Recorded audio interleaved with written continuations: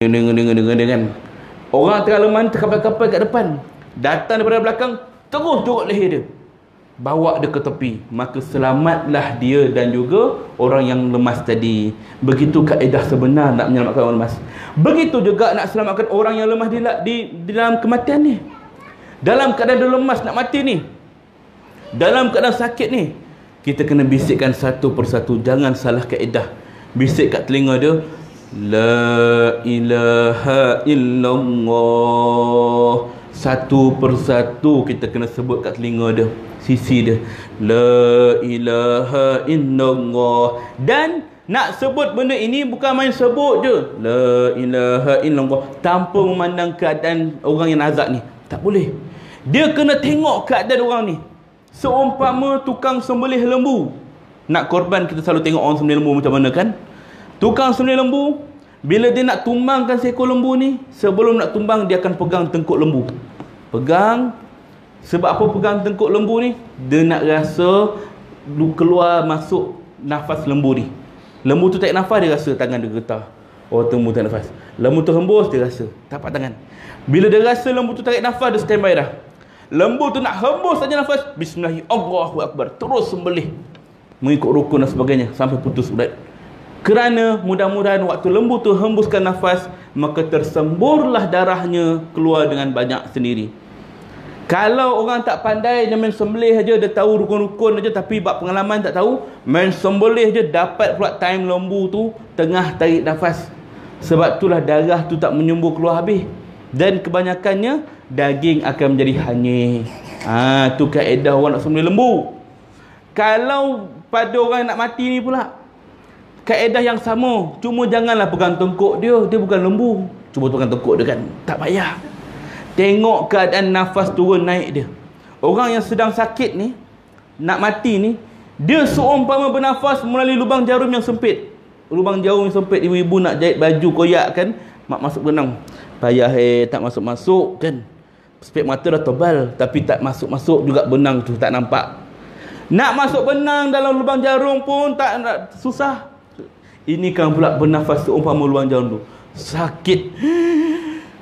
Dia tarik sedalam-dalamnya. Urat tegang, saraf semua naik. Waktu itu sakit yang luar biasa. Dia tarik nafas, kita nampak dada dia tinggi. Jangan ajar dia lagi kalimah La ilaha illallah. Sebab waktu itu dia sakit. Orang yang sedang sakit ni, dia boleh buat macam-macam. Benda yang baik pun dia boleh jadi benci. Misalan, satu kes seorang isteri nak bersalin, nak melahirkan anak. Suami dia kat tepi bagi semangat macam biasalah kan. Yang sabar, push kan. Baca doa, selawat banyak-banyak, push, push. Isteri menjerit ah kan macam nak bersalin kan kat hospital banyaknya tu. Menjerit kan. Sakit bang, sakit. Sabar, sabar. Baca selawat, push, push. Suami tak putus asa bagi semangat. Sampai setahap bini dia pun bengang Diamlah kan. Sabar, sabar. Yang sakit aku bukan kau. Tumbuk kau nanti kata. Dimarahi lelaki itu. Sebab apa? Bukan dia sengaja tapi sakit. Dan lepas bersalin dia cari balik lelaki dia. Bang, minta maaf sangat bang. Minta maaf. Saya bukan sengaja sakit. Saya tak boleh fikir dah. Kerana waktu sakit, manusia tak kerti beza dah. Mana baik buruk. Sampai benda yang baik pun dia jadi benci. Sebab itulah waktu orang sedang sakit nak mati, jangan paksa dia ucap kalimah la ilaha illallah. Perlahan-lahan step by step la ilaha illallah. Waktu dia tengah tarik nafas jangan ajar. Sampai kita nampak kemuncak dia dah tarik nafas. Dia dah ada tinggi dia berhenti kejap. Cepat-cepat kita ajarkan dia perlahan. La ilaha illallah. Mudah-mudahan waktu dia hembus nafas itu La ilaha illallah. Dengan nafas yang terakhir maka dapatlah di syurga Allah dakhalal jannah. Sebab akhir kalam la ilaha illallah. Allah Rabbi ini yang kita nak kan? Kalau dalam situasi orang tu sedang nazak di hospital tengah nazak ni doktor nurse kata keluar-keluar kan? Kami nak buat kerja ni. Waris nak buat macam mana? Nak ajar kalimah la ilaha entah lepas ni meninggal ke tak sempat ke? Maka waktu itulah kita ajar di sampingnya La ilaha illallah. Ajar saja dua tiga kali Selagi ada kesempatan Kemudian kita keluar. Dan kalau dia dah sebut sekali La ilaha illallah Jangan bersemang lagi dah. Cepat-cepat keluar. Jangan bagi dia bercakap apa dah. Ha, Itu beza dia. Macam kita kat rumah pun kalau kita dah dengar dia ucap la ilaha illallah diam. Jangan ajak dia bersembang ke jangan cakap mak nak air ke mak? Nak. Ah sudah. Dia dah sebut la ilaha illallah tiba-tiba kita potong pula dengan perkataan lain. Ha, maka benda itu tak boleh kan? Ha, kena ajar balik kalimah. Biar kalimah terakhir yang mulut dia keluar la ilaha illallah. Itu yang kita nak. Ya? Baik. Kemudian orang yang lain pula buat apa? Jangan tengok saja. Yang ajar seorang saja. Yang lain bacalah surah yasin. Nabi sebut ajar bacakanlah surah Yasin di sisi orang yang hampir meninggal dunia. Kenapa? Waktu tu syaitan sangat berusaha keras. Kita nak elak syaitan ganggu dia ni, baca surah Yasin. Tapi jangan baca ramai-ramai. Bukan baca ramai-ramai itu salah, tidak. Tapi kalau baca ramai-ramai ni jadi sekali je. Lepas baca ramai-ramai, dah penat, habis dia keluar ramai-ramai. Mana? Minumlah pula haus tekak mayat ni dibiarkan eh, orang yang nak mati ni biar terkotak kanting macam tu kan ha, silap dia kena bergila-gila satu grup grup yang lain rehat ataupun seorang anak yang lain berehat dulu daripada malam dia tengah nazak sampailah ke subuh sepanjang malam tu ada aja orang baca yasin bergilir-gilir jangan tinggalkan berehatlah dah, dah baca yasin kita berehatlah. Bagi orang lain pula ha, kemudian macam itulah keadaan dia. Jangan dibiarkan sendirian. Dan kalau kata boleh tak pasang telefon? Imam macam-macam Sudais ada Imam Ghamidi ada Imam Al-Aqsa ada Lagi sedap bacaan dia. Bukan tak boleh Tapi tak sesuai. Biarlah bacaan tu daripada mulut kita sendiri. Kot-kot pula Waktu kita pasang Tiba-tiba orang Telefon kita Keluar pula lagu merapu Kan? Ha. Tak tentuang Tak tentuang lagu budak sekarang kan? Ha. Langsung tak ketentuan Time tu lah dia mati pula. Dengan ucapan yang dia dengar Tak tentuang dalam kubur maruk buka tak tentuang memang tak ketentuan lah dia kan? Ha. maknanya biarlah biar dalam keadaan yang baik. Kita tak nak gangguan. Maka dah selesai kita dah buat ajar. Sampailah dia bimbing dia la ilaha illallah kemudian dia meninggal dunia Allahu Rabbi baguslah begitu. Tapi kalau kita tak dengar dia ucap kalimah itu jangan kita cakap eh kenapa dia tak mengucap eh? Eh dia sempat ucap ke tak? Jangan. Kita sangka baik saja. Mungkin dia ucap kita tak dengar. Settle masalah. Kan? Baik. Setelah dia meninggal dunia ucapan yang perlu kita ucap bila mendengar atau melihat kematian ialah apa dia inna lillah wa inna ilaihi rajiun. Betul dah tu. Tapi kenapa bila kita baca whatsapp ha, atau baca kat facebook ada orang meninggal dunia ni sekian-sekian ni dan jenazah akan dikumikan esok pagi. Kita pun balas al-fatihah. Al-fatihah al-fatihah. Semua berdiri al-fatihah fatihah bukan kata salah bacaan ni nak baca bacalah terpulang. Tapi kenapa tulis al-fatihah tulislah innalillahi wa inna ilaihi rajiun. Tu sunnah yang sebenar. Kan? Ha, ubah benda tu. Tak payah sebut al-fatihah. Nak baca baca dan diam sendiri. Kan? Ubah benda tu. Cuba kalau kita buat ke dunia reality orang datang jumpa kita. Ataupun kita jumpa orang. Kita kata kat dia ayah saya baru meninggal semalam ni. Alhamdulillah malam tadi dah siap dah ke bumi. Kawan kita pun cakap al-fatihah. Kan macam tak kena kau itu kan? Apa kena kau ni kan? Al-fatihah pula. Iyalah orang mati kan sebut al-fatihah kan tak kena ha, maka ikutlah sunnah Nabi Allah dah sebut dalam Quran dah wa basyirus sabirin allazina iza sabatkum musibatun qalu inna lillah wa inna ilaihi rajiun Berilah kabar gembira pada orang-orang yang bersabar apabila ditimpakan musibah kepadanya. Mereka berkata, Inna lillah wa inna ilahi raji'un. Sesungguhnya kita datang daripada Allah, kepada Allah jua kita kembali. Ucapan inna lillah bukan pada orang mati je. Dengan orang sakit pun baca, cakap. Tengok orang kena musibah pun kita cakap. Kita kehilangan barang pun boleh cakap. Ini kalimah musibah. Ha, ya? Baik. Kemudian bila dia meninggal dunia, kebiasaannya orang yang meninggal dunia ini mata dia naik ke atas macam mana naik ke atas ya ha. dia naik ke atas sebab apa naik ke atas? Kerana ketika itu ya roh dia memandang rohnya naik keluar daripada ubun-ubun rambut dia ubun-ubun kepala dia naik. Waktu itulah kebanyakan orang yang mati mata dia terbeliak. Maka kita yang ada di sisinya tutupkan matanya.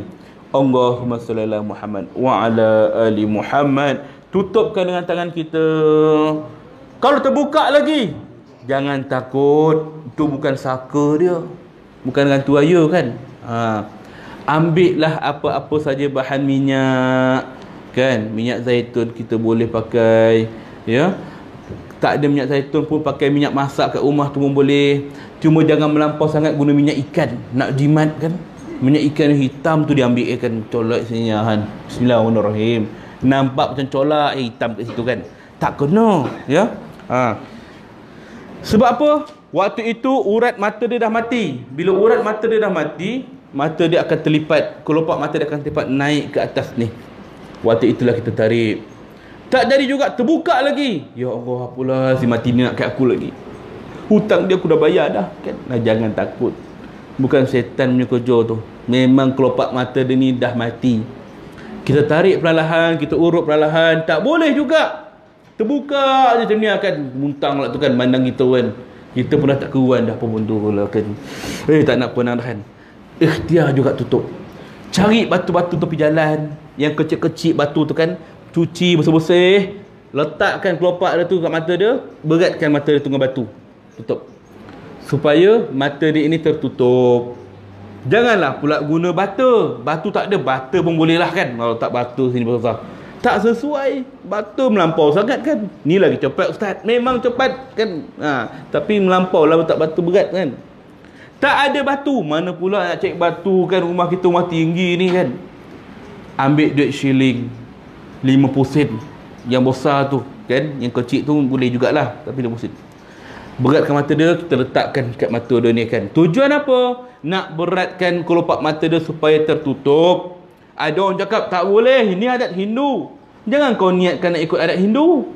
Niatlah nak tutup mata. Ah, ha. tutup mata. Kan tutup. Duit shilling eh, jangan salah sangka. Itu ayu Ustaz Rafi cakap apa eh? Duit duit apa? Duit kertas boleh lah. Letak RM50 sini, RM50 sini. Tak jadi kalau letak RM50, RM100 baik pun tak jadi kan. Ha, RM50 sini sini. Dan jangan terlalu lama. Dia letak RM60 sini sini, Kemudian dia ambil kain tudung ni dia tutup kan. Lepas tu dia pergi dia lupa. Jiran pun datang. Betul ke arwah dah meninggal? Ayah dah meninggal? Ya makcik ada kat dalam bilik tu. Boleh tengok tak? Boleh. Lepas tu sambil sedih. Biasalah kan tengok orang kawan-kawan kita menangis. Hmm, arwah ni baik. Dia tak kedekut. Suka menderma. Bagi makan minum. Puji baik-baik lah ni melalui lambung. Tapi taulah Allah sayangkan dia kan. Hmm. Boleh tak makcik tengok? Boleh, tengoklah. Buka aja. Astaghfirullah, mata duitan. Kan nampak tak hilang lagi kan? Ha. ha. Sebab tu kita jangan lama sangat. Sekejap aja agak-agak tutup, alihkan. Kalau tak jadi juga, terbuka lagi mata dia. Guna cara hospital, dia guna selotip. Selotip tu jangan yang kuat sangat, yang nipis tu je. Ambil kelopak mata ni, letak kat mata kat bawah ni. Sekejap je, jangan lama. Sebab Kadang-kadang kaedah ni tak boleh pakai pasal dia kulit dah mati.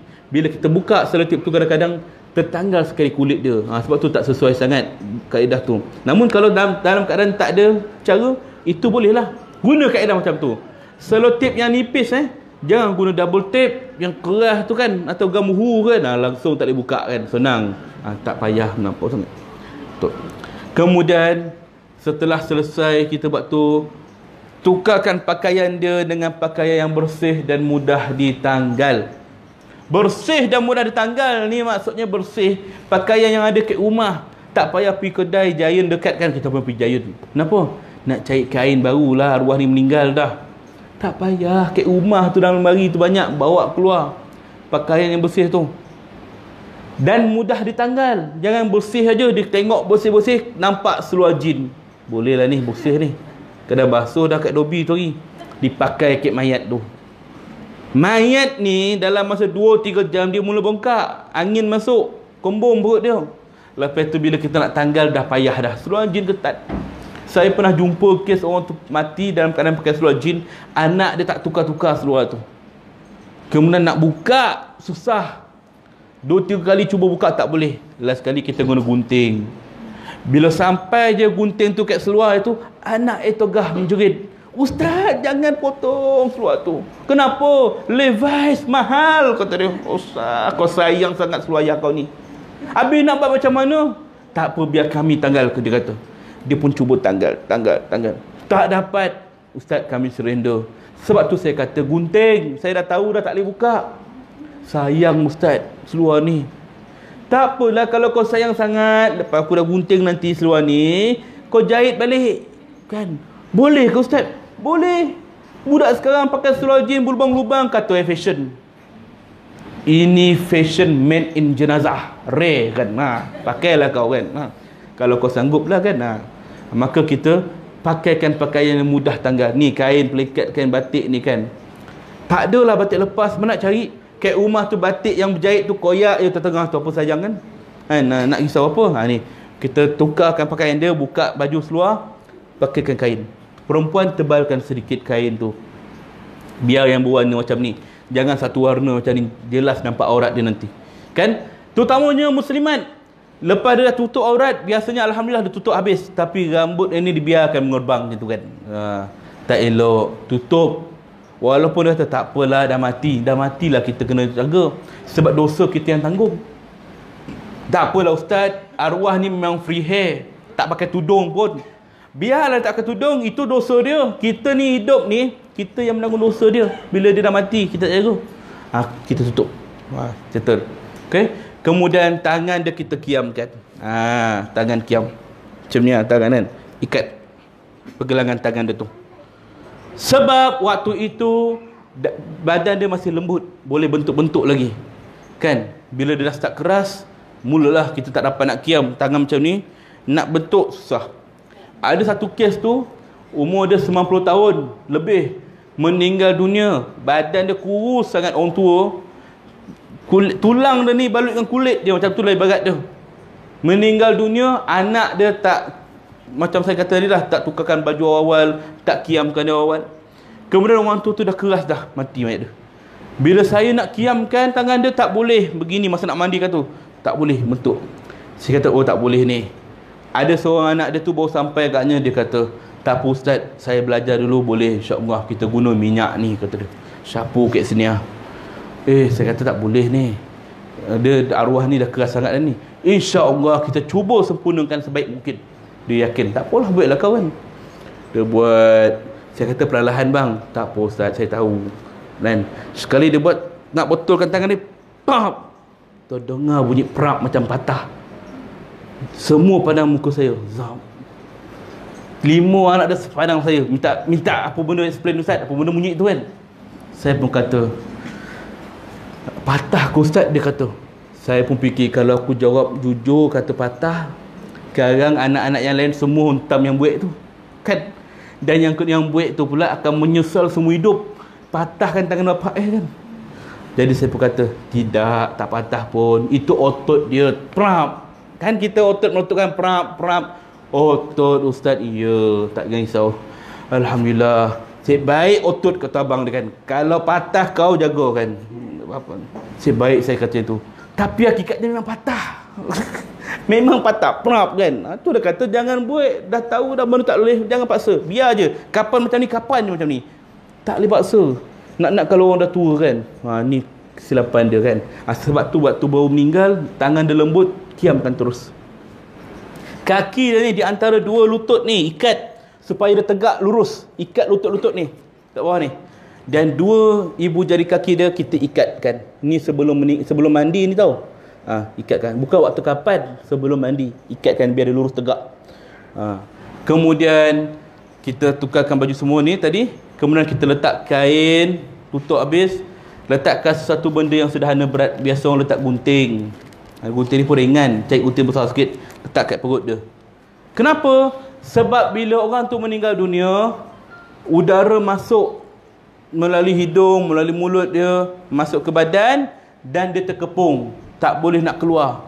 Maka perutnya ni akan masuk angin, dia akan kembung sendiri, bengkak besar-besar.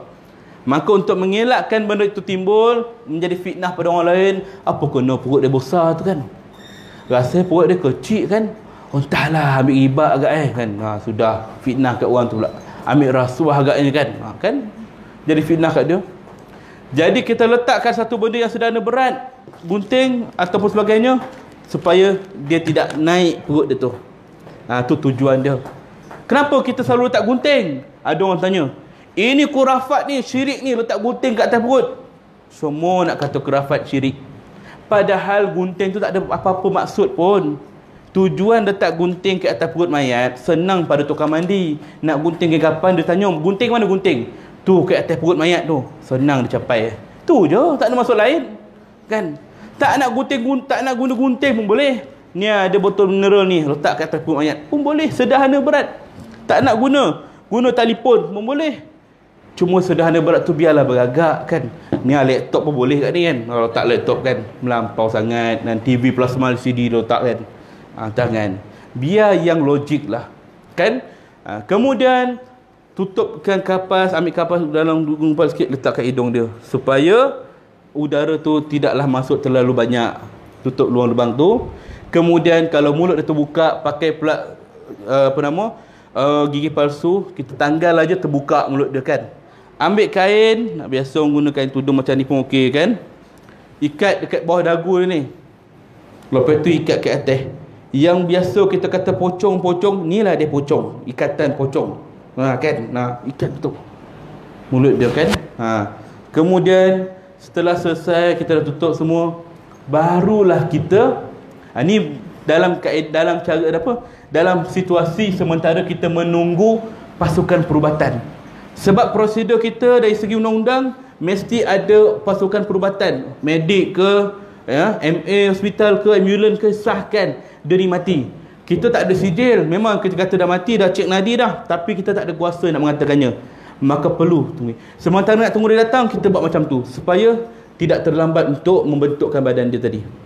Kemudian bila dah sampai pasukan perubatan kata oh dia dah meninggal dah. Kan? Sama ada dia keluarkan laporan ataupun tidak sama ada dia kata perlu bawa hospital ke tidak masih hidup ke tidak maka jika dia kata tak perlu pergi buat report polis. Maka waris pergi ke balai polis. Ini kalau meninggal di rumah eh, dari segi dokumen. Pergi ke balai polis yang berdekatan. Kalau sini taman samudra kat mana balai polis dia? Batu Cave sini ada ha, kan dekat sikit kan ha, pergi buat laporan jangan datang kosong aja bawa lah IC si mati ni kalau tak ada IC pasport dia ataupun kad PR dia tu bawa Kemudian IC yang pemaklum ni, waris yang datang nak maklumkan ni kena bawa. Dan juga dokumen-dokumen perubatan si mati ni kena bawa. Kadang-kadang dia bawa IC saja kemudian datang, ayah saya dah meninggal dah ke rumah. Sakit apa? Sakit jantung. Mana bukti dia? Dokumen perubatan semuanya? Tak ada. Tak ada lah dan polis takkan terima bulat-bulat macam tu.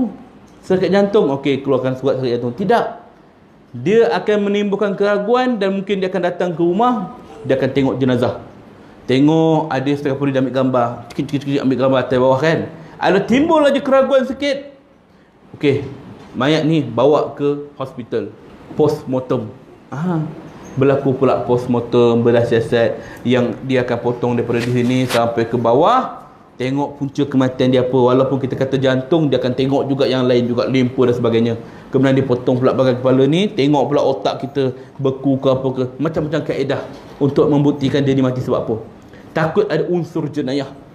Nak-nak kalau meninggal dunia itu bawah umur 55 ataupun 60 ataupun bawah umur 50 lah biasanya. 50 ke atas tu boleh selamat lagi lah 50 ke bawah meninggal tanpa ada rekod sakit meninggal di rumah pula kemungkinan untuk di postmortem tinggi ya meninggal tanpa sakit kan Fuh, nasib baik aku 51 kata Dan.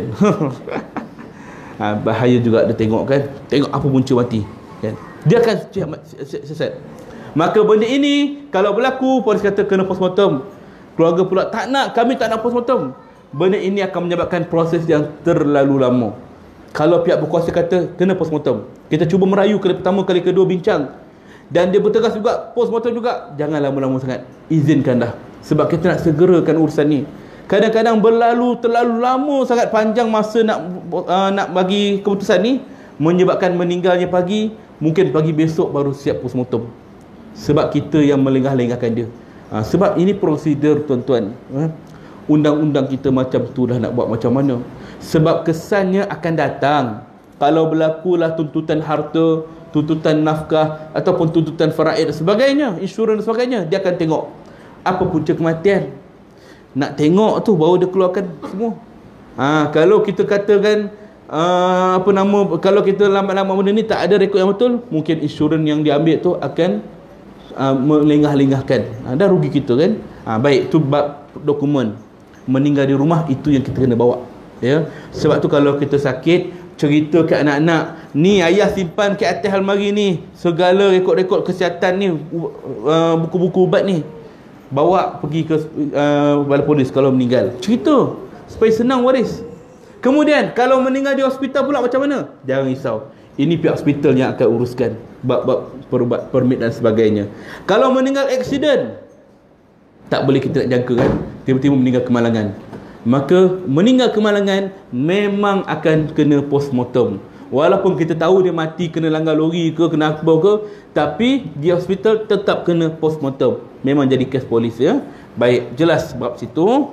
Kemudian bila dah dapat permit penguburan permit kubur ini yang perlu kita dapat barulah boleh uruskan jenazah. Selagi permit kubur tak keluar, jangan kita usik jenazah melainkan atas kata-kata polis. Polis kata, okey, permit boleh keluar dah. Uh, waris boleh ambil kat balai polis, yang lain boleh uruskan jenazah. Tak apa. Tapi kalau belum ada kata putus, jangan usik jenazah. Sebab takut-takut berlaku macam mana kes lebih kurang 10 tahun yang lepas, ada satu tempat di negeri Selangor ni, dia meninggal dunia. Anak dia tak tahu apa, dia ingat biasa saja mandi kafan solat terus dia ke bumi tanpa minta permit. Dalam masa 2-3 minggu kemudian mereka nak tuntut harta arwah ni pusaka apa nama pension dan sebagainya. Pihak insurans takaful ni kata mana sijil kematian arwah? Tak ada mana nak dapat. Pergi balai polis minta. Dia pun pergi balai polis. Sampai balai polis polis kata bila dia meninggal? Bulan lepas meninggal. Mana permit dia? Tak ada Siapa suruh awak ke bumi kan tanpa permit? Dah jadi masalah. Maka jenazah tu perlu digali balik. Gali balik, keluarkan untuk postmortem dan sebagainya. Kan menyeksa mayat kalau macam tu kan, benda tu kita elakkan. Dapatkan permit. Dia dalam kematian yang PR pula, orang yang bukan status warga negara, warga asing dan sebagainya.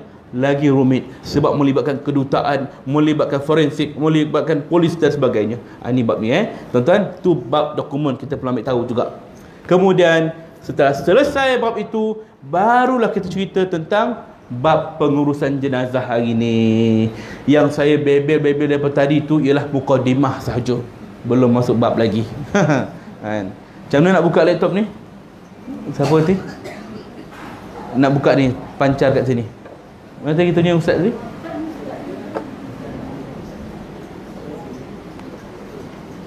Ada soalan tak setakat itu? Silakan perkongsian ke? Betul ke ni? Hmm dah padam dah.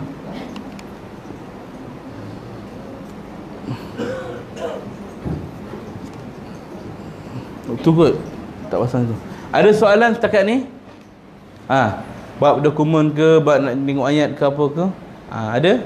Tak ada. Alhamdulillah bagus. Kan mudah saja. Baik. Kita akan masuk ke dalam bab yang ketiga uh, pembincangan kita iaitu bab pengurusan jenazah. Ha? Ini tak jalan lagi. Dan bab pengurusan jenazah ni saya nak tanya berapakah rukun pengurusan jenazah yang perlu kita buat?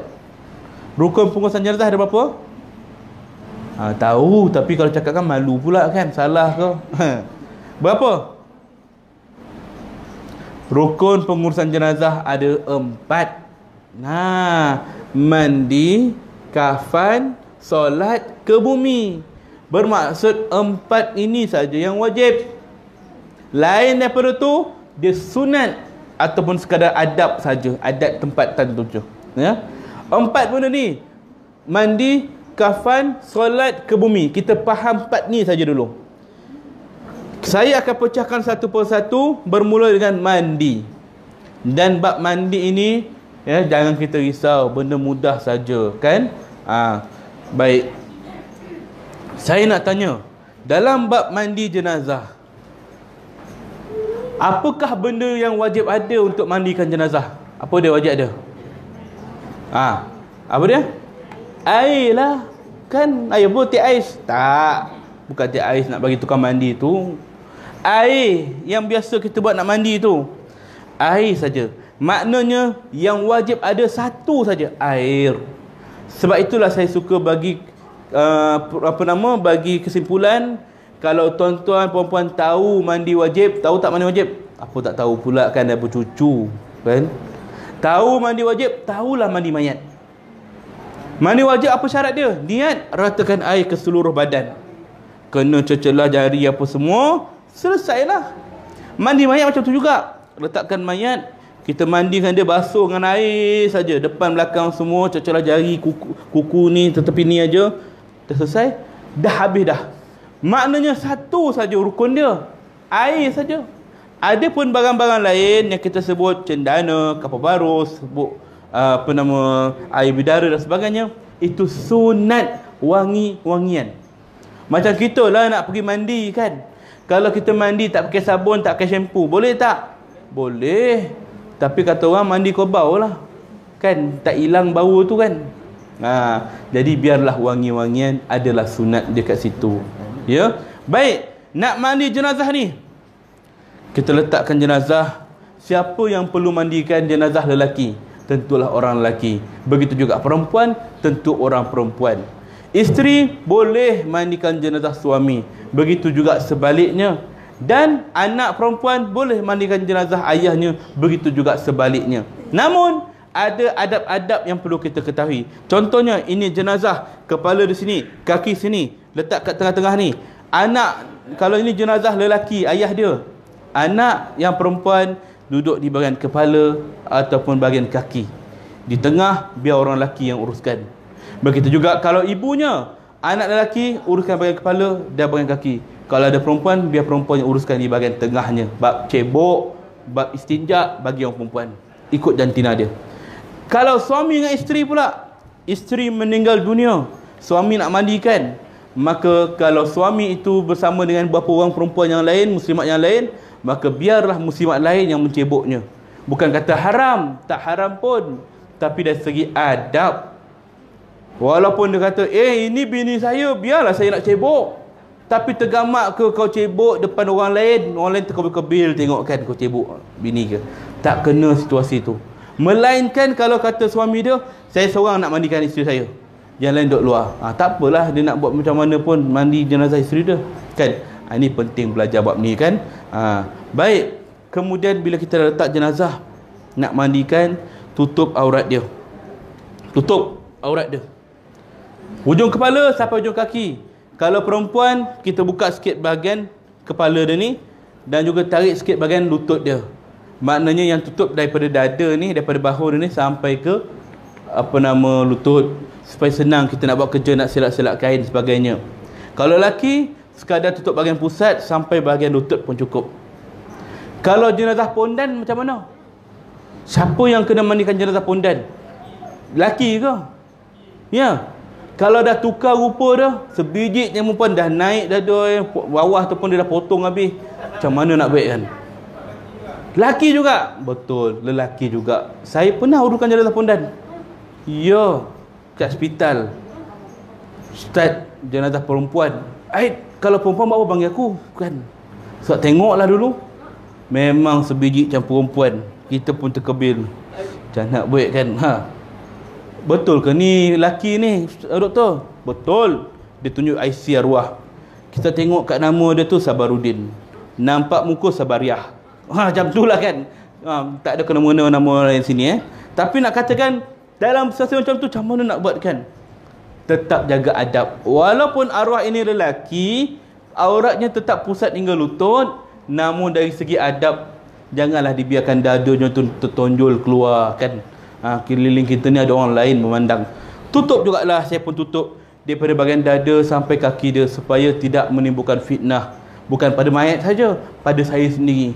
Bila bersihkan bab dada je takut orang mandang ustaz jangan lama kan? Nah ingat kita pula ambil kesempatan. Gila kau kan? Nah maknanya kat situ elakkan fitnah. Bersihkan cepat. Nah buat biasa je kan? Ha, tu cara dia kan? Ha, dan jenazah apa nama kita buat air yang biasa tu saya nak tulis saya nak tunjukkan tapi belum buka lagi mungkin saya boleh guna uh, papan tu mungkin uh, boleh tarik ke Ini boleh pergi jauh kan? Ada ada marker pen? Ada sana? Baik. Ha, kita tulis ibu-ibu mungkin boleh beranjak ke sedikit tak nampak nanti kan? Ha, supaya kita nampak penjelasan dia ni. Saya cakap macam ni mungkin tak clear.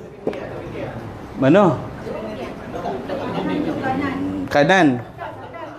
Oh, sangkut sini. Ha, ni elakkan budak-budak lah ambil ni. Ah, ah betul. Baik. Okey ya. Ha, ha, tak apa yang ni majlis kekah kan tak biar ada. Ha. Okey baik. Bab mandi mayat ni kan. Ha, ibu-ibu kena beranjak sikitlah tengok kan. Mandi. Yang wajib ada yang pertama apa dia tadi? Air. Air ni yang wajib. Wajib ada air. Oh, besar sikit eh. Enggak. Air wajib ada. Kemudian kalau kita nak bagi sunat wangi-wangian bahan lain yang perlu kita ada ialah apa dia? Antaranya sabun ataupun shampoo.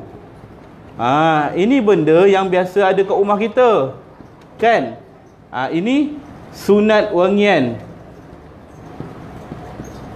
Benda ini yang biasa. Saya nak tunjukkan benda yang biasa kita ada. Contohnya kalau berlaku mati kat rumah kita.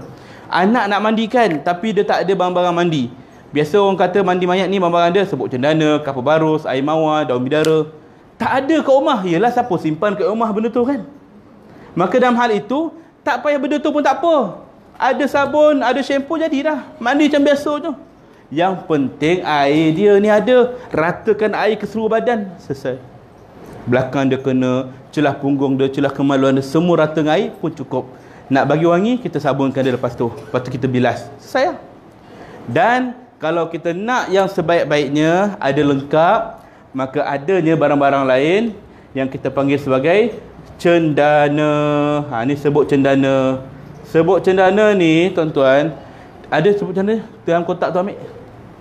Dia berwarna kuning. Kan? Yang set yang saya bawa ni dia apa nama dah siap dalam botol. Kalau dalam plastik tu dia berwarna kuning, seakan-akan sebut kunyit. Jangan letak kat dapur. Takut nanti time puan-puan semua nak masak pula ayam goreng kunyit. Siapa pula boleh sebut kunyit ni tak ada label kan? Ha. Digaul-gaul-gaul dalam ayam tu, masak berbuih satu rumah makan sebut cendana ni kan? Ha, warna kuning. Kemudian bahan yang lain yang biasa kita guna kapur barus. Kapur barus ni berwarna putih. Ha, dia ada dalam bentuk yang keras ada bentuk serbuk. Ha, ni dalam bentuk yang cube macam ni. Kita perlu hancur-hancurkan dia jadi serbuk. Kapur barus. Kalau dia jadi serbuk kadang-kadang nampak macam garam halus. Pun jangan letak kat dapur nak buat telur dadah dicampurkan garam tu kan. Ingat garam rupanya kapal barus berbuih satu rumah makan kan? Ha. ni. Kemudian ha, barang lain apa dia? Air mawar. Ha, ni biasanya barang-barang yang kita nak buat lah untuk mandikan mayat. Air mawar. Air mawar di situ? Tak ada bagi kan? Oh dia dah buat macam ni kot Air mawar tuan-tuan tahulah air mawar putih macam tu kan. Ha. Dan ataupun di kampung-kampung biasanya dia guna bidara. Daun bidara. Ah ha, benda ini yang biasanya digunakan untuk mandi jenazah. Kalau tak ada macam mana? Tak ada pun tak apa. Guna benda yang ada sabun shampoo. Sabun shampoo pun tak ada. Guna air pun cukup. Air tak ada. Barulah kita masuk ke bab apa yang last kali? Tayamum. Ha, tayamum ni keadaan untuk jenazah yang tak boleh kena air dan keadaan yang tidak ada air. Kan? Maksudnya tidak air dan air ni bukanlah macam tengah mandi mayat tiba-tiba alamak air tak ada. Kan? Ha, putus pula bekalan air kat daerah Gombak ni. Macam mana nak buat? Bukan tak ada air, air ada. Cuma kawasan kita je tak ada air ikhtiarlah bawa ke tempat lain mandikan sebab kita masih ada air melainkan musim kemarau yang teruk tak ada air langsung guna tayamum ataupun jenazah tak boleh kena air guna tayamum jenazah terbakar kan macam mana keadaan tayamum Tayamum ini kaedahnya saya tunjuk secara ringkas eh. Uh, kalau dalam set ini dia ada sediakan debu tayamum. Debu tayamum ni pasir biasa je, debu biasa. Ni biasa saja tak ada apa pun. Dia macam bedak juga lebih kurang macam tu. Kita bukan nak ambil yang pasir tu. Tanah tu, kita ambil debu je, tepuk, ketuk. Dia berlaku dalam keadaan tiga tempat. Ambil kain ataupun kertas, kita letak satu sini. Lepas tu letakkan debu tayamum satu. Ambil kain kedua, letakkan dua. Ambil kain ketiga, letak ketiga. Dia akan jadi macam ini. Tiga helai ataupun tiga lapis kain yang ada debu tayamum. Ah, satu, dua, tiga. Sebab anggota badan yang ditayamum ada tiga je. Muka, tangan kanan, tangan kiri. Tu je anggota dia. Dan cara kita nak buat pula macam mana? Jenazah dah ada dekat depan, contohnya jenazah terbakar. Yang saya gunakan untuk uh, yang saya uruskan jenazah ittifaqiyah dulu. Tepuk tangan kita ni pada debu tadi. Debu tadi kan? Kemudian kita hentak tangan. Sapukan di muka jenazah dengan niat sahaja aku tayamumkan jenazah ini kerana Allah Taala. Sekali je dia sapu bukan rata eh, sapu je. Walaupun tak kena pada seluruh anggota muka dia, tak apa. Dia sapu saja, bukan nak ratakan. Sahaja aku tayamumkan jenazah ini kerana Allah Taala. Cukup. Bersihkan tangan kita. Ambil debu yang kedua. Hentak. Sapu di tangan jenazah. Di tangan sampai ke siku, pusing. Habis. Bukan rata. Memang tak kena seluruh badan. Tapi kita sapu saja. Selesai. Bersihkan tangan. Satu, dua ni tak boleh pakai dah. Dia jadi mustakmal. Tak boleh pakai dah. Yang ketiga. Kita ambil. Hentak tangan. Di belah kiri pula. Macam biasa. Selesai. Itu kaedah tayamum pada mayat. Dan situasi ini juga berlaku kalau jenazah itu dia ada dua pendapat. Satu pendapat yang biasa saya pegang, kalau mandikan jenazah yang ada rambut color-color tu. Ada merah, hijau, kuning macam traffic light tu kan. Kita guna sabun, shampoo, se- tak hilang-hilang. Bersihkan, tak hilang-hilang rambut dia macam mana ni rambut dia ni tak tak turun warna ni. Jangan ambil pisau cukur, cukur botak kepala dia tak boleh. Tak boleh haram eh. Kita biarkan je mandi macam biasa je lalukan air saja cukup. Ataupun jenazah yang ada tattoo. Corak-corak kan? Tattoo dia gambar naga lah monyet lah segala lah kan? Jangan pergi ambil pisau sagat tu. Macam apple kita buat kan? Siat. Bergulung-gulung kulit dia kan? Tak elok kan? Tak baik dosa menyeksa mayat maka cara dia lalukan air saja. Cukup. Sebab tak boleh buat apa. Itu cara yang pendapat pertama Air saja pun cukup sebab kita bukan tak nak buat. Sebab memang tak boleh buat. Pendapat yang kedua sebab dia memilih jalan yang selamat kata lepas kita mandi dengan cara macam tu kita buat juga tayamum. Maknanya dua benda. Dah mandi, dah selesai mandi, tayamum pula jenazah tu, muka dan juga tangan dia. Okey? Maknanya dua lah mandi dan tayamum. Itu pendapat yang kedua yang katanya untuk lebih yakin, selamat. Okey? Terpulang pada tuan-tuan nak guna cara mana pun. Kan nak mandi saja sempurna cukup. Kan? Baik. Dan dia juga boleh jadi tayamum ni kalau misal kata jenazah tu dah sempurna dah sifat dia. Tapi kaki dia ni pula yang terbakar ataupun tak boleh kena air. Macam mana nak buat ni kaki tak boleh kena air ni? Tayamum juga, tayamum. Tapi bukan tayamum kat kaki. Mana ada orang tayamum kat kaki? Anggota tayamum muka dengan tangan saja. Kan? Ha, maka lepas kita dah mandi jenazah, kaki tak boleh kena air, maka dah selesai mandi yang mana boleh mandi, kita tayamum pula dia jenazah tu muka dan juga tangan dia. Ya, walaupun kaki yang tak kena air tak, muka tangan tak ada masalah tapi itu saja rukun tayamum. Muka dan tangan. Selesai bab situ ya? Ha, ini jenis dia tayamum. Tak ada pula debu tayamum. Mana pula nak cari debu tayamum ni? Kami mana ada sediakan kan? Cari tanah-tanah yang bersih. Tempat kita ni kalau ada yang bersih kalau tak ada nak macam mana kan sebenarnya sekeliling tempat kita ni bersih ada debu. Kalau tuan-tuan tengok dinding macam ni kan ni ada debu dia. Bersih tak? Bersih sebab kita tak nampak najis pun secara nyata. Ada tak tek cicak sini? Tak ada. Tek kucing langsung tak ada. Maka kaedah dia tepuk. Ketuk. Ni dari segi fik eh? Dari segi hukum fik tepukkan saja aku tayamumkan jenazah kena Allah Taala memang kita tak nampak pun sebab kita ambil debu bukan dia punya ain dia tu sifat dia tu tidak. Asalkan benda ni bersih dari segi kita tak nampak zahir dia. Ha, itu pun dah cukup dah tepuk ni. Kalau jenazah yang terbakar macam kes itifakiyah habis terbakar kepala separuh je tinggal hidung kat sini ha? tangan dia sebahu je tinggal. Anggota tayamum sampai ke siku tapi siku pun tak ada tinggal ni je. Petak macam ni je jenazah tu masa tu uh, macam ni lebih kurang. Ni kepala dia ni badan dia. Kaki tak ada apa tak ada. Seketul macam tu. Macam mana? Maka kita kena tahu di mana kepala di mana kaki. Maka bahagian kepala ni lah kita tayamumkan. Walaupun muka dah hilang tayamum je kepala. Lepaskan syarat saja.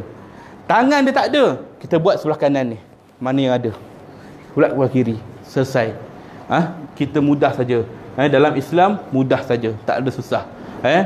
Ini bab tayamum. Kalau dalam situasi tak boleh kena air dan juga dalam situasi tak ada air. Ya darurat. Baik. Ada soalan tak bab ni? Bab mandi? Ha, sebab tu saya tukar terangkan macam ni. Sebab tuan-tuan kalau belajar terus praktikal hanya nampak dari segi jenazah normal. Uh, jenazah yang macam ni tak boleh. Macam saja. Hmm. Mhm.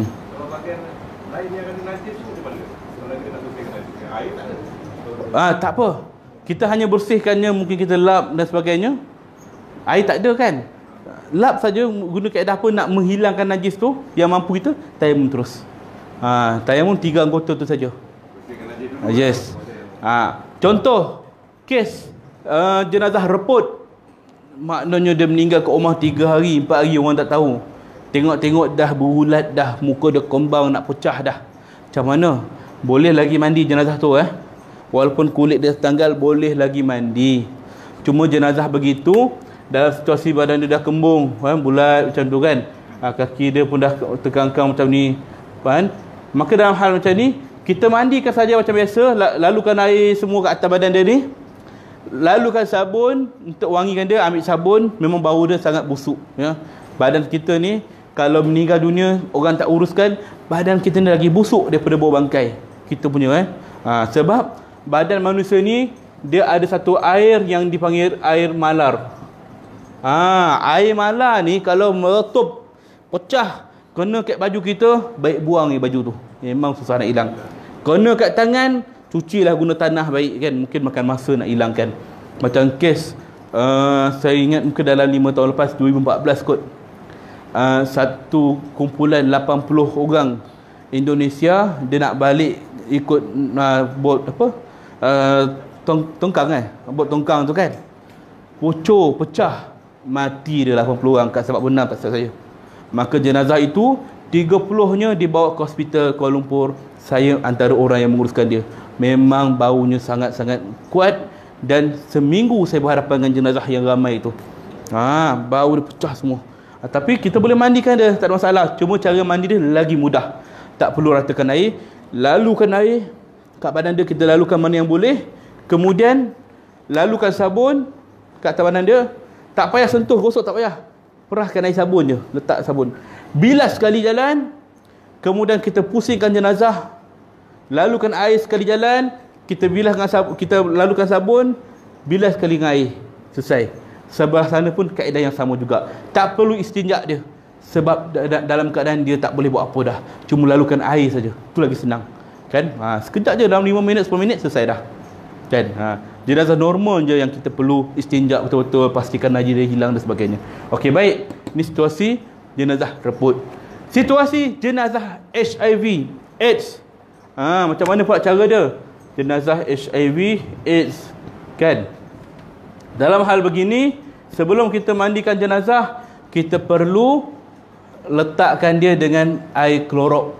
Ha, klorok kita tu yang basuh kain nak baju putih, baju sekolah anak-anak tu, sama ada sebotol tu, kita curahkan atas badan mayat ataupun kita bancuhkan dalam air, bancuhkan air sikit baldi, kita surah kat sini pun tak ada masalah biarkan selama satu minit supaya kuman dia tu tidak merebak Ni kaedah yang diajar oleh hospital eh.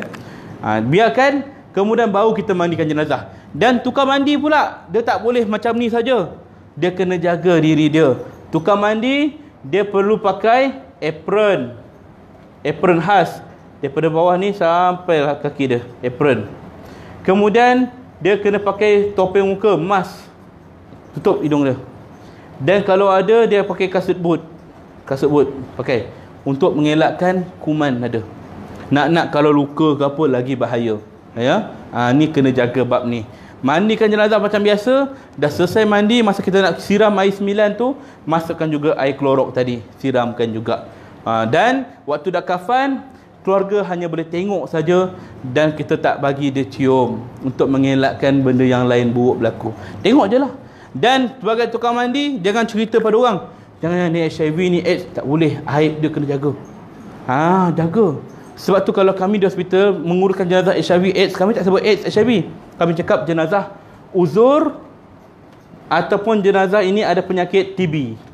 Ha, TB ni lebih kurang macam penyakit HIV lah tapi dia tak teruk. Orang dengan penyakit TB ni normal lah. Sakit TB ni jangan cium je. Dia faham lah. Keluarga tahu dia penyakit HIV. Tapi kita tak nak orang lain ni mencemuh dia ke apa kan, ha, fitnah pada dia. Cakap je penyakit TB. Settle masalah. Okey? jaga aib dia. Itu jenazah HIV. Baik. Ha, ada soalan lagi? Nah. Ya. Ha? Ah, mayat hancur aksiden kena gilis. Macam baru ni berlaku di uh, jalan nak pergi Seremban tu. Tapi orang apa orang India lah Hindu. Dia meninggal. Hancur badan dia gigi dia tercabut keluar. Habis kena gilis. Macam mana nak buat? Kan? Letakkan satu plastik. Kan? Biasanya dia polis akan buat ni. Dia akan letaklah anggota badan dia yang terabur tu dikumpulkan sini mana yang ada semualah. Memang hancur lah. Kan? Kita nak uruskan kalau jenazah Islam macam mana? Maka dalam keadaan begini kita mandikan dia sebab nak tayamum pun nak tayamum kat mana mana kepala ni kan dah hancur dah kan. Tak boleh. Bersihkan daging-daging tu. Ambil lah seketul-seketul lalukan air. Letak sini. Letak sikit, letak sikit, letak sikit, letak sikit, sikit, sikit, sikit. Habis. Ini letak atas, apa ni kita bersihkan, letak atas kain kapan. Kain kapan ni mesti ada plastik juga. Sebab kalau kita letak tu atas kain, habislah tembus darah ada tu kan. Ha, bocor. Atas kain putih, letak plastik, mandikan dia kat sini, bersihkan letak satu satu satu susun. Kemudian nak bentukkan macam jenazah biasa tak boleh. Kita nak buat macam apa nama jenazah kan? Ada ni tak boleh macam ni. Ikat kan? Ha, tak boleh. Maka caranya ialah kita bunjutkan dia macam ni. Ha, bunjutkan dia. Macam mana sok bunjut macam itulah dia kan ha, macam ni. Ha, ikatkan dia. Letakkan uh, apa nama benda tu kat sini. Maka inilah yang akan jadi tempat untuk solatkan dia ke bumi dia. Ni kat dada okey baik. Ha, jenazah yang hancur. Tak ada nampak anggota badan dia. Okey selesai. Ada lagi soalan? Ha hmm? Macam mana? Ha sebunjuk lah. Jangan buat balik pula kan? Ha dia terjadi juga kalau kita nak bersihkan uri ataupun janin. Ha, janin baby kan kecil halus kan. Ha. Oh, dah boleh buka dah? Okey alhamdulillah. Saya nak tunjuk contoh. Ah tak apa, jap tunjuk contoh. Pen drive. Oh dah tukar dah. Ada kopi tak gambar? Oh ada gambar kalau boleh kopi. Saya nak tunjuk gambar sebenarnya. Gambar-gambar jenazah supaya nampak lagi situasi tu. Hmm. Masa kita bumi kan macam mana kedudukan masa dalam yang lahat? Letak je lah jam tu. Ha. Sebab kepala tak tahu kat mana. Letak je. Ha, biasanya dia akan gali lubang yang se muat dengan dia je lah. Tidaklah sepanjang macam tu. Ha, tu ni, ni, macam ni je rupa dia kan. Ha, letaklah mana-mana sudut. Ha, tu. Jimat tanah kan. Ha, kita sekarang ni tanah terhad. Kan? Ha, taman ibu kota tu pun dah, dah penuh dah. Dia kata sampai bulan 3 je. Lepas tu habis Bawa ke tempat tuan-tuan ni pula. Taman Sasih. Tumpang lah kita kan. Hmm. Baik.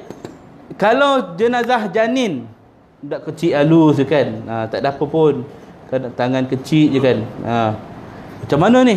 Satu jari kadang. Kecil je. Nur Fatah. Ha, dah kantoi dah. Ha, tu je. Rasuk dia tak ada benda lain. Janin ni kita bersihkan macam biasa. Kat sinki pun boleh. Tak payah pagi tukang mandi mayat kecil pula tu kan.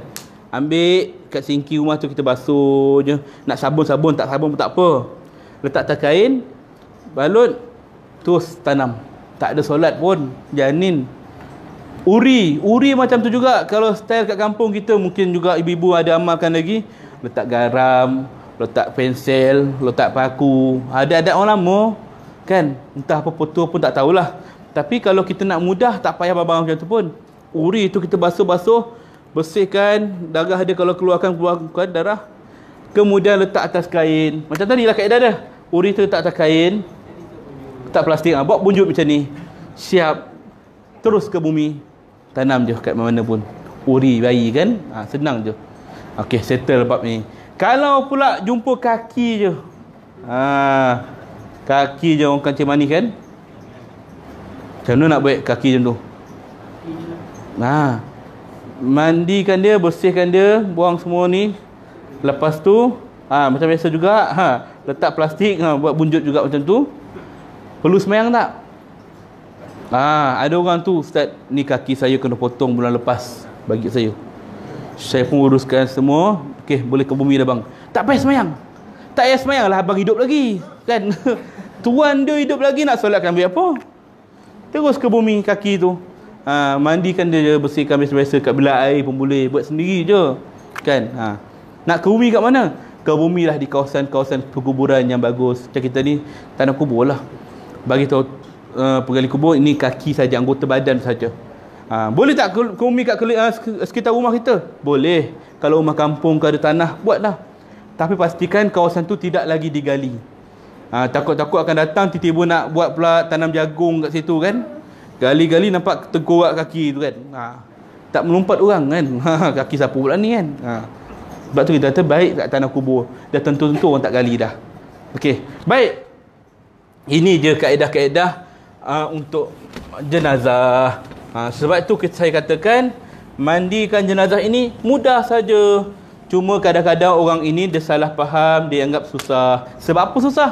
Bab ni memeh dia ni pandang pandang payah. Baik saya akan tunjuk contoh mandi. Ada siapa nak jadi volunteer? Ha, ada. Orang yang jadi model ni panjang umur dia tu tak?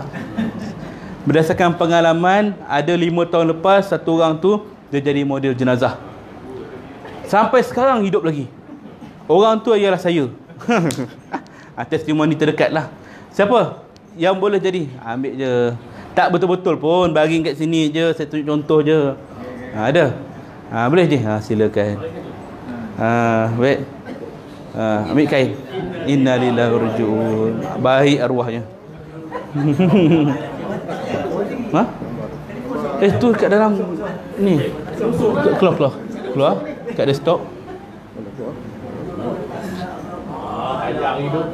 Ni gambar SPJM. Gambar ni je. Ha. Tu je. Ha. Ha. Okey. Ha. Sini lah je. Ni, kepala kat sini. Ha, senang. Okey, ni, buat batal. Oh, dah mati dah. oh. Bantai tak kena? Tak kena. Oh, mati Ah. Ah, ni kain batik yang tak dipotong lagi kan. Hmm, baik. Ah ni naik naik je sak kamera. Okey, udah meninggal. Udah. baik. Ah dalam bab situasi macam ni juga dia berlaku ketika mana uh, sebelum mening- sebelum nak uruskan jenazah waris dia akan letakkan jenazah menghadap kiblat. Dan biasanya kaki ni dia akan tuju ke kiblat. Betul tak? Semua buat macam tu. Benda tu betul ke tidak? Ah dari segi hukum dia dari segi rukun dan sebagainya macam mana menghadap kiblat betul ke kaki ni menghadap kiblat? Contohlah kiblat sana. Kaki ni menghadap kiblat betul ke? Ha, kalau kita lah hidup ni depan kita orang tua kita mak ayah kita tunjuk kaki. Kita kan panggil apa? Tak sopan, tak beradab. pada guru kita tunjuk kaki pun tak beradab. Ini depan rumah Allah Baitullah kiblat kita tiba-tiba kita tunjuk kaki. Tentu dikatakan tak beradab juga. Lalu apa yang dikatakan menghadap kiblat itu? Menghadap kiblat bukan kaki dia hadap kiblat saya pernah tanya pada satu orang kenapa kaki mayat ni kena menghadap kiblat? Dibuat yang tu. Yalah ustaz. Kan kita kena menghadap kiblat. Apa sebab kaki ni menghadap kiblat? Dikatakan menghadap kiblat. Cuba ustaz togakkan mayat ni. Kan menghadap kiblat? Kata dia macam tu. Logik akal kan? Tu apa nak togakkan mayat? Siapa suruh togakkan mayat kan? Dia sama macam situasi uh, apa Cina. Orang Cina kalau meninggal mayat Cina tu dia akan masukkan kepala dulu. Eh kaki dulu. Dia kita kepala dulu dia kaki dulu. Saya tanya kenapa you masukkan kaki dulu? Bukan kepala ke? Yalah kalau kita jalan Kalau mayat tu bangun Dia tengok depan Dia tak terkejut. Kek mana diam ni kan? Tapi kalau masuk kepala Dia bangun Dia tengok belakang. Wah kat mana ni kan? Ada tanya Ini logik akal. Buat apa Maka adakah betul cara tunjuk kaki ke kiblat? Tak betul Adakah hukum betul haram ke dosa ke? Tak disebut dalam mana-mana hadis pun Cuma dari segi adab kita kena jaga Lalu apa kaedah yang sebenar? Kaedah yang sebenar ialah kepala jenazah ialah menghadap ke kanan. Contohnya, okey. Uh, baik, uh, macam ni. Contoh sini sana kiblat. Ni kiblat, okay, kepala sebelah kanan, kaki sebelah kiri macam ni. Kiblat kat depan. Ini kedudukan yang sebenarnya. Macam mana tahu ni kedudukan yang sebenarnya? Kias kepada kedudukan dalam kubur. Kat kubur adakah kaki madhab kiblat? Tidak. Kat kubur ialah begini. Tak tahu ni? Mengiring bahagian kanan ini yang menghadap ke kiblat kan kanan ini akan turun ke bawah yang belah kiri ini akan ke atas begini keadaan di dalam kubur dikatakan menghadap kiblat namun di dalam situasi kat rumah mana ada kita iring jenazah macam ni maka kita letakkan saja jenazah terlentang biasa dalam keadaan lambung kanan dia ini yang menghadap kiblat ini situasi yang sebenar kan Namun kalau ada orang kata tak boleh mesti kaki juga Arab kiblat terpulang. Saya tak katakan ini dosa ataupun haram sebab tak ada sebut pun dalam mana-mana hadis tapi dari segi adab kita kena jaga. Tu je. Baik. Kemudian bila kita tak mandikan jenazah dah boleh lah. Kopi dah. Okey. Nanti saya tunjuk contoh. Minta uh, barang-barang tadi sabun, cendana, kabarus, baldi, gayung, air. Air tak payah. Your request tu nak air. ha. Okey. Ha, baik, insya-Allah. Dia situasi sebenarnya sebelum nak mandikan jenazah, kita kena bentang kain kapan dulu. Jangan dah mandi bau kelang kabut nak bentang kain kapan, menggigil mayat. Kan? Ha. Biarkan kain kapan itu dah siap bentang baru kita mandikan. Namun dalam situasi sekarang ni kita belajar, saya akan tunjuk contoh mandi dulu. Baik. Tukang mandi jenazah dia perlu duduk sebelah kiri mayat. Ini belah kanan dia. Tukang mandi utama kena duduk sebelah kiri. Sebab apa sebelah kiri? Senang dia nak cebok. Tapi kalau duduk sebelah kanan macam saya ni, kan terkial-kial nak cebok. Kan? Tak kekok ke macam ni. Takkan nak guna tangan kanan. Ha, maka kena duduk sebelah kiri.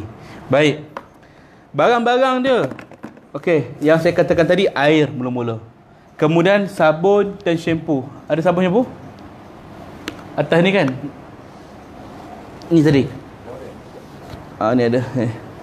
Ah, sabun dia buat cecair macam ni. Dan ah, shampoo. Campurkan dia. Lepas tu kita ah, ambil ah, kain. Okey, katakanlah ni kain. Kita buat kain 2 3 layer perca. Letak kat sini, gaulkan air sabun. Letak kat tepi. Kemudian barang-barang tadi kita nak letakkan. Campurkan sebuk cendana, kapur barus ha, ni dia buat kapur barus jenis cecair macam ni spray je tak ha, spray kemudian nak buat air mawar pun nak campur pun boleh air berdarah pun boleh setengah tempat dia tak buat macam ni dia asingkan baldi ni air, air baldi cendana ini air baldi kapur barus ini air daun bidara. Kan banyak sangat. Kita nak mudahkan proses mandi mayat ni banyak sangat menyusahkan. Buat sekali je satu baldi. Letak air kemudian kita kita kat daun. Campur air. Naik bau warna dan rasa kan? Letak kat tepi dulu. Biarkan dia diam. Jangan usik lagi.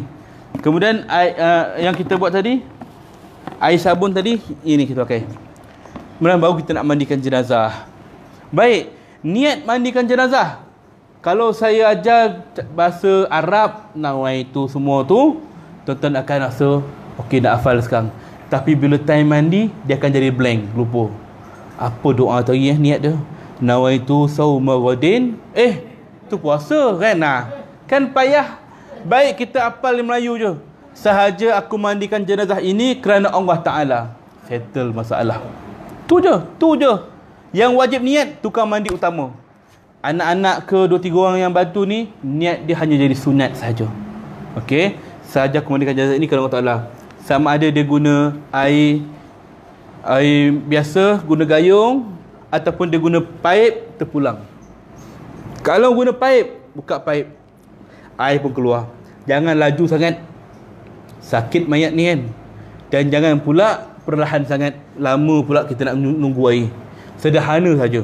Ni tidak dah sederhana dipicit pula ujung ni bagi laju. Psss, ingat masuk kereta.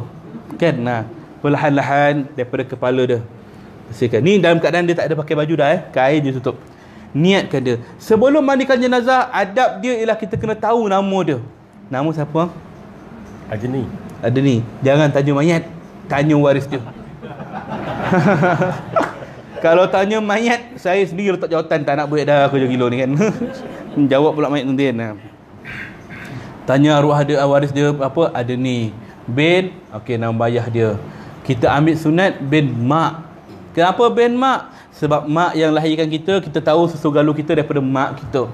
Kan? Ha, maka bin kepada mak.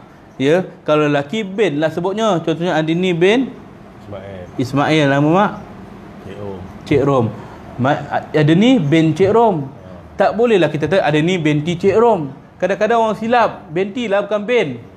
Yang berubah nama mak dia tu je. Bukan Ben atau Benti. Ben lelaki, Benti perempuan. Nah, tu kena bezakan. Ada ni Ben Cik Rom. Kalau tak tahu pula nama mak dia, tanya anak-anak dia, entah nama nenek apa entah. Ah, tak tahu pula. Biasa je tu.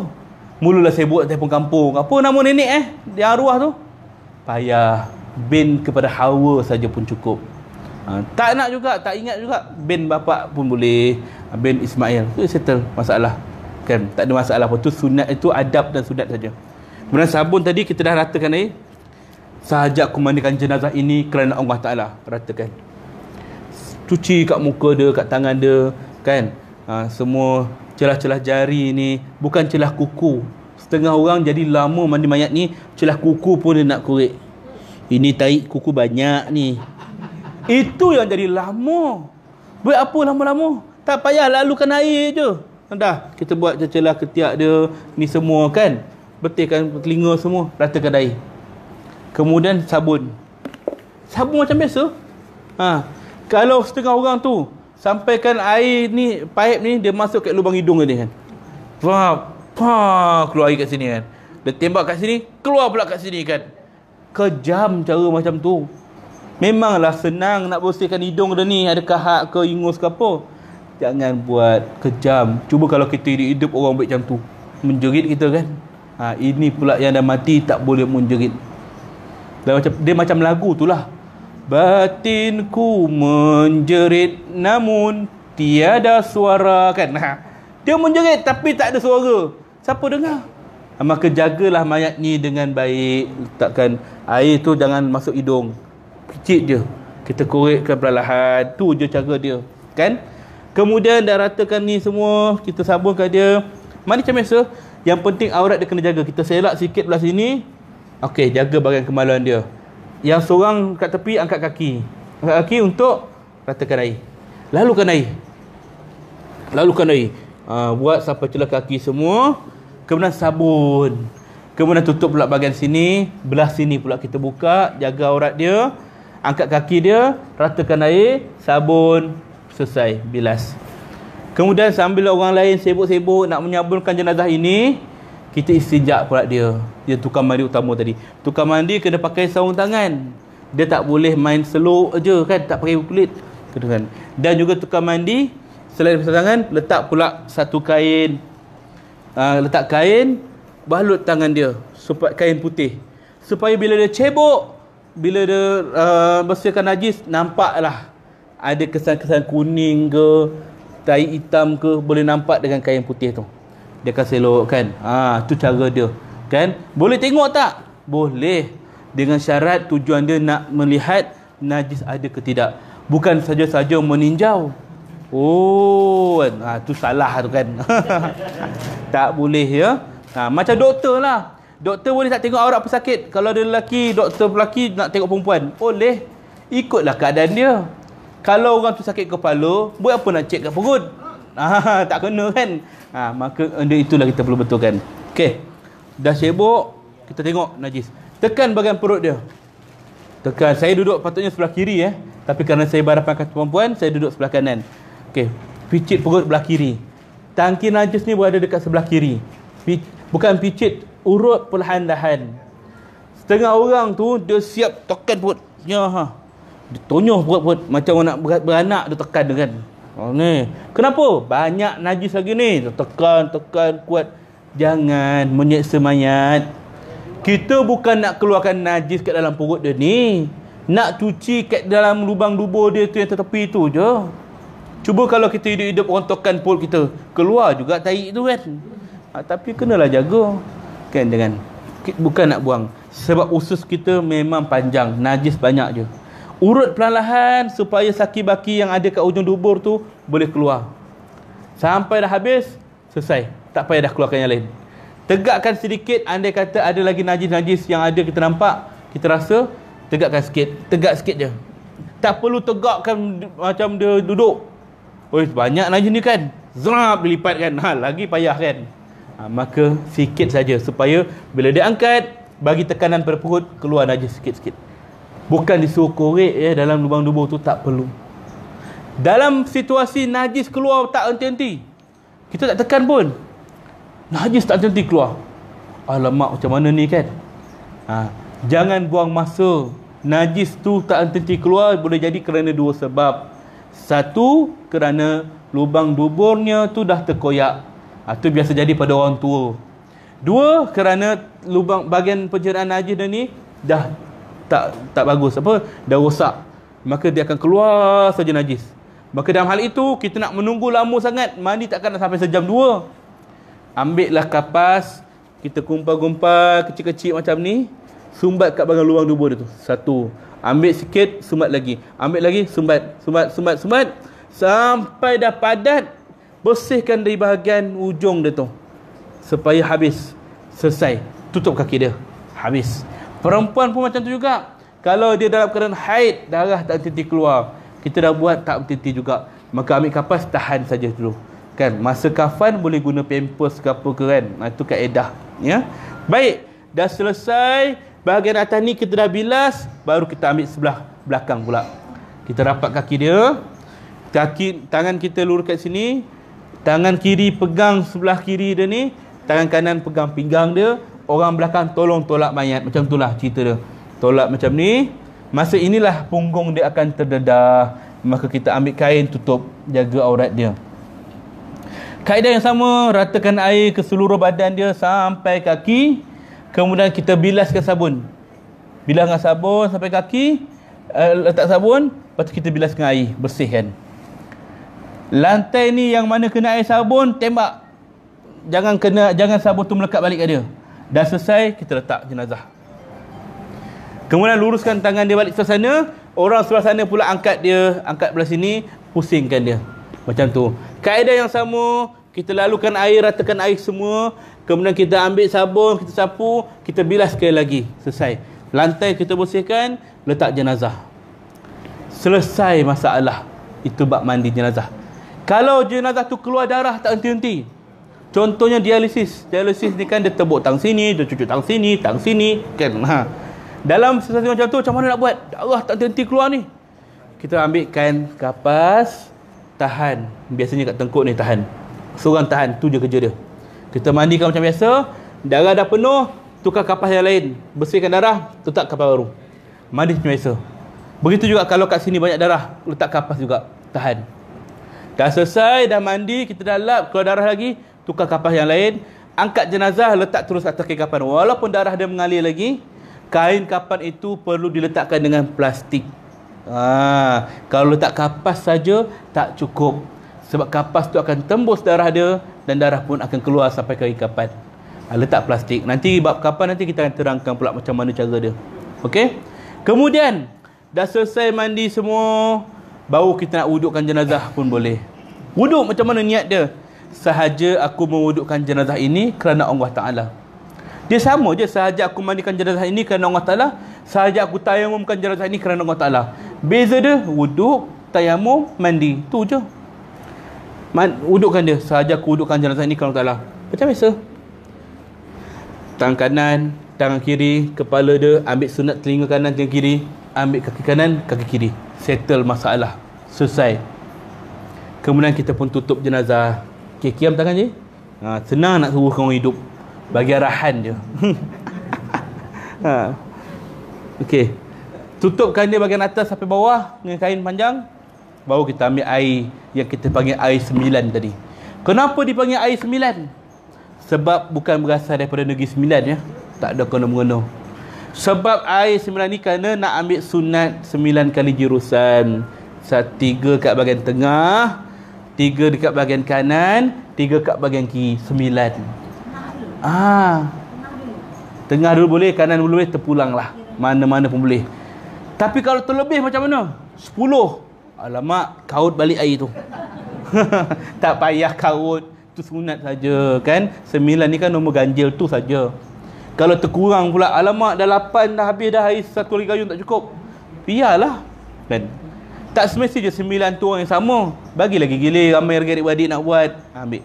Atau tak semestinya sembilan eh. Lebih pun tak apa, kurang pun tak apa. Itu jurusan yang untuk wangikan dia. Dah selesai, barulah kita ambil kain. Kain kapan kain yang baru. Kan? Ha. Kain ni kita tutup dia. Nah, tutup ganti kain yang basah tadi. Bawa keluar. Jangan bagi aurat nampak. Bawa keluar. Kemudian ambil towel, lap dia dengan bersih. Lap towel ni bukan lap macam kita dah keluar bila air gini ah kan. Kasar kan. Dia bukan macam tu tanggal kulit dia nanti. Tekap je. Ha, angkat tangan dia ni tekap tekap tekap gitu kan. Ha, perlahan semua sampai bawah. Begitu juga kita pusingkan sini, lap belakang dia. Pusing sebelah sini pun, lap belakang dia, kita bersihkan juga lantai ni yang ada air-air ni. Lap juga supaya bila dia letak balik, tak melekat air kat badan balik. Kemudian dalam keadaan situasi dia dah mengiring macam ni, minta orang tahankan kejap. Ambil satu kain yang kita panggil kain kemban. Kain kemban ni macam besar towel, sebesar towel tuala. Untuk lelaki pusat hingga lutut. Kalau perempuan lebih sikit daripada ujung kepala sampai ujung kaki. Tujuan dia satunya untuk menutup aurat, yang kedua senang kita nak angkat jenazah. Okey, letakkan bawah ni separuh. Jenazah pun diletakkan balik. Okey, baring. Ambil kat bahagian tepi ni, bawa keluar. Ah, uh, tak. Ah, uh, ni situasi ni tuan-tuan, buat kerja ramai-ramai bukan seseorang macam ni eh. Saya tunjuk contoh je. Sebab saya tak panggil tuan-tuan join sekali sebab nanti menghalang pemandangan orang lain nampak kan. Ha. Maka jenazah ni akan jadi macam ni. Dia akan angkat. Dia akan tutup macam ni. Ha. Ni dah ada kain dah tutup satu selai. Yang perempuan tebalkan sikit lah. Maka bila nak angkat jenazah, senang. Kita angkat guna kain ni saja. Pegang ni, orang sana pegang, pegang kaki, pegang bagian badan kepala, boleh angkat jenazah. Terus letak atas kain kapan. Kalau orang perempuan pula, kadang-kadang orang perempuan dia tak boleh nak angkat jenazah, tak larat. Dia perlu bantuan orang lelaki. Dan kadang-kadang lelaki ni waris dia tak ramai pula, perlu bantuan orang luar. Maka dalam hal ini, kita tak nak orang luar ni tersentuh badan ataupun aurat si mati. Maka biarkan kain tu labuh sikit panjang, biar yang angkat tu angkat kain saja tak sentuh pun langsung jenazah ni kan ha, sebab tu kita buat dua lapis perempuan kat bawah tu satu lapis tu tujuan dia untuk angkat ha, jadi tiga lapis senang terus kapan je nanti Okey. kemudian diletakkan atas kain kafan jenazah ni pun akan kita kiap kita akan uh, tutup ni kain kemban ni tutup balik ambil kain yang yang kita buat tutup tadi bawa keluar terus kita kapaskan dan sebagainya itu kaedah dia eh. Sebelum ni waktu mandi saja. Ada soalan? Ah tak ada. Ada persoalan untuk mandi? Nampak macam mudah kan? Ni. Ah ni kain putih. Untuk kain kemban dia ha. Sunat kain putih. Ha, kain kapan ni sunat dia warna putih lah. Ha, yang ni je untuk tutup dia. Ha. Atas kain boleh, bawah kain pun boleh. Atas kain kita nak elakkan ada sebut-sebut cenana tu kan jatuh kepada mayat. Jurusan dia lah, jurusan ayat 9 ni. Oh, bawah. Mesti kena Dia bukan atas mayat. Masa kita nak mandikan jenazah tu, dia mesti air tu jatuh ke badan mayat. Bukan melapik. Ha, kena silap lah bawah dia. Silap gini bawah dia kan. Ha, tangan kita je yang rasa kan. Ha, tu cara dia. Dia tak boleh atas ni. Sebab air tu akan bercampur dengan ni pula. Kan. Ha. Baik. Soalan lain? Ha, ni atas kain. Ha, ni tak apa sebab ni sunat je. Ha. Ada soalan lain? Ha. Memanglah nampak macam senang. Cuba buat kan. Ha, ni tunjuk aja macam ni kan. Sebenarnya tuan-tuan lepas rukun pun jadi dah. Lepas rukun apa dia? Ratakan air. Tu je lepas dah. Yang lain sunat. Ikut kaedah masing-masing eh. Okey, selesai bab mandi jenazah. Keluar darah ke apa jangan risau. Letak je kapas. Masa kafan tu letak plastik. Settle masalah. Okey, boleh je jenazah tu nak pakaikan pampers. Contohnya belakang jenazah ni kadang-kadang ada kes orang tua. Dia dah duduk lama baring atas katil, belakang badan dah melecet, punggung dia dah melecet nampak luka-luka daging jatuh dan sebagainya letak pampers yang boleh pakai ha, tak ada masalah ya baik selesai. Okey bang boleh bangun? Boleh. Ha. ada lagi rupanya kan? Okey ni kita nak teruskan ke atau nak berhenti dulu je? Minum dulu. Baik kita rehat dulu. Insyaallah 11.30 kita sambung balik untuk bab kafan pula. Kalau ada soalan boleh tanya terus insya-Allah.